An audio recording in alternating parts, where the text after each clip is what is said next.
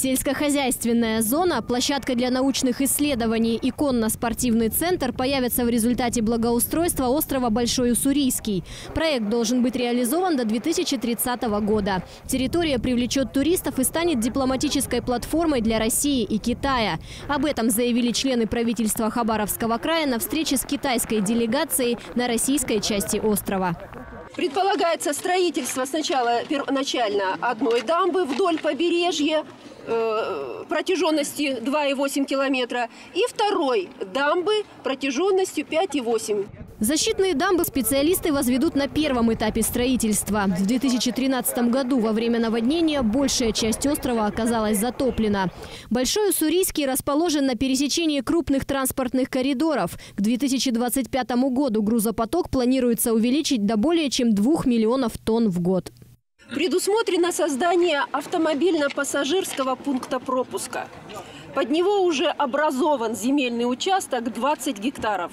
В 2008 году половина острова Большой Уссурийский была передана Китаю. Когда-то пустынная территория постепенно становится туристическим центром. Прогуляться по парку с озером Лотосов, посмотреть на пагоду высотой более 80 метров приезжают сотни человек. В планах Китая и России реализовать на острове совместные проекты. Для этого нужно объединить силы в строительстве дорожной и коммунальной инфраструктуры разница в гидротехнических сооружениях, если они будут разные по уровню с э, российской стороны и с китайской стороны, они просто не позволят э, реализовывать здесь проекты совместно. Совместное развитие и защита этого острова – наша общая задача. Это соответствует нашим взаимным интересам. Думаю, мы сможем поработать над этим вместе. Общая площадь российской территории Большого Уссурийского более 14 тысяч гектаров. Первый этап застройки по плану должен завершиться к 2023 году. Анастасия Незнанова, Дмитрий Папуша. Хабаровск. Городские события.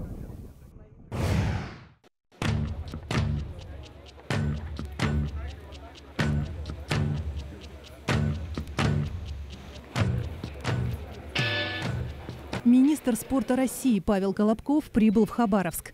Первым пунктом в программе визита стало посещение основного учебного корпуса Дальневосточной государственной академии физической культуры и спорта. Ректор учебного заведения Сергей Голицын провел экскурсию. Министру продемонстрировали материально-техническое оснащение учреждения, тренировочные залы, учебные аудитории, а также презентовали проект универсального спортивного комплекса при Академии физической культуры. К строительству объекта в районе переулка Черепичного уже приступили. Сооружение стоимостью 3,5 миллиарда рублей должны сдать в эксплуатацию в 2000 2020 году. Средства выделяют в рамках федеральной целевой программы развития физической культуры и спорта в Российской Федерации на 2016-2020 годы. Ну, спасибо городу, что такое участие земли. Помог э, администрация города, мэр помог очень. Э, мы за три месяца оформили муниципальную землю, федеральную.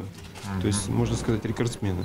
Затем Павел Колобков встретился с профессорско-преподавательским составом и студентами, представителями спортивных федераций края и города, обсудил развитие спорта в регионе, отметил успехи спортсменов и поздравил присутствующих с 50-летием учебного заведения. Особое внимание в рамках встречи уделили подготовке олимпийских команд на Дальнем Востоке к зимним играм 2018 года в южнокорейском Пхенчане и летним 2020 в Токио. В марте делегация Олимпийского комитета России уже проверяла спортивную инфраструктуру Хабаровска. Дальневосточная столица претендует на прием сборных по хоккею и шорт-треку. Очень важно правильно там, под, э, рассчитать режим подготовки вот, но говорю, ну еще раз, условия созданы все, все необходимые.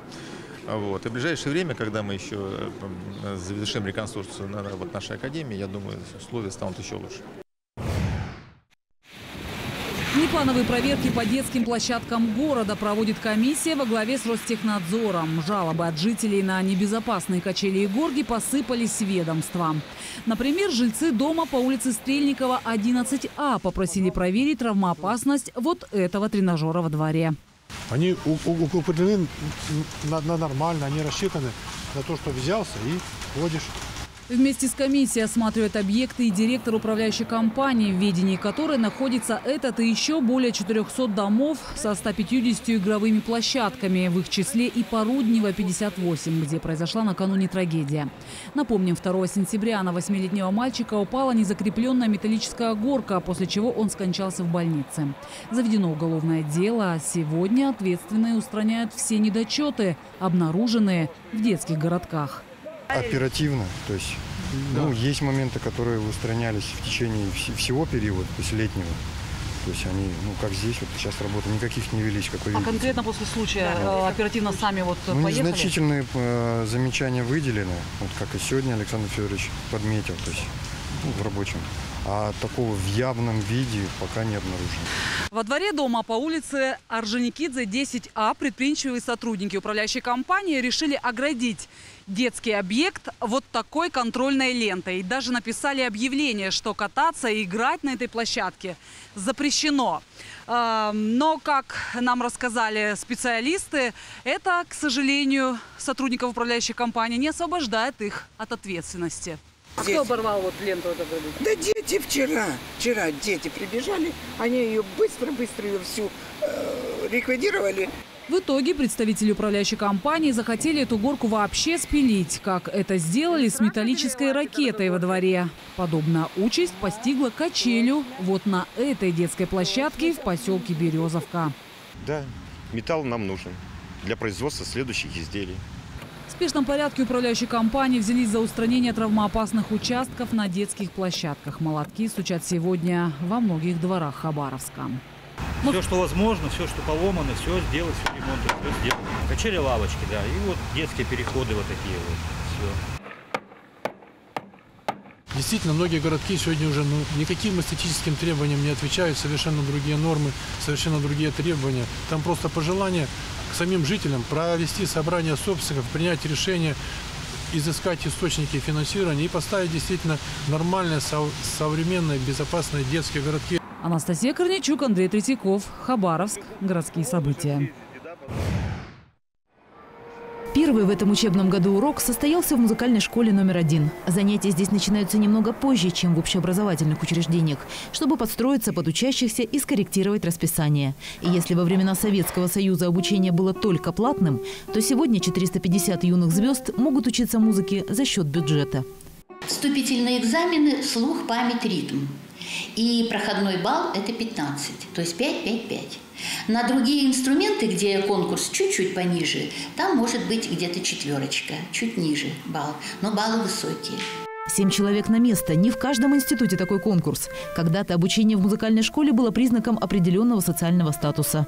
Сегодня родители понимают, музыка откроет их ребенку целую вселенную, где маленькая звездочка таланта может превратиться в сверхновую.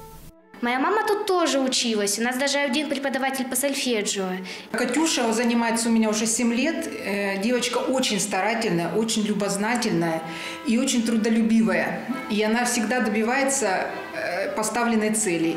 Более 200 выпускников музыкальной школы номер один стали профессиональными музыкантами. Это настоящая кузница кадров. Сегодняшние ученики школы становятся лауреатами премии мэра города, губернатора Хабаровского края, международных конкурсов.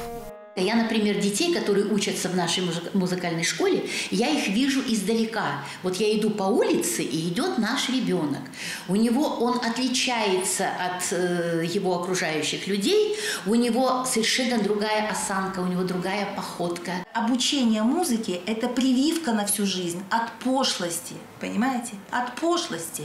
Это воспитание вкуса, гармонично развитого человека, интересного человека, вокруг которого всегда будут э, люди не менее интересные, чем он. Это формирование, в конце концов, общества, интересного, образованного общества. Старейшая музыкальная школа Хабаровска, в прошлом году здесь отметили 90-летний юбилей, названа лучшим учебным заведением страны. По результатам общероссийского конкурса среди детских школ искусств таких всего 50. Уже в ноябре представители первой музыкальной отправятся в Москву за заслуженной наградой. Наталья Чернышова, Дмитрий Папуша, Хабаровск. Городские события. Быстрые, ловкие и веселые представители двух хабаровских школ сошлись в поединке. Заряженные солнцем и духом соревнований шесть сборных по 10 человек померились силами на стадионе школы номер 85. В лучших спортивных традициях команды поддержали болельщики. Бег через туннель, эстафеты, перетягивание каната – все в рамках проекта «Здоровое поколение. Здоровое будущее». Школьники и сами понимают ценность физической культуры и спорта. Спорт э, делает человека здоровым, э, сильным, здоровым. Вот. Без него человеку никак не обойтись. Я занимаюсь футболом э, уже около пяти лет. Э, Получается, мы развиваемся как и физически, так и быстрое мышление, моторика.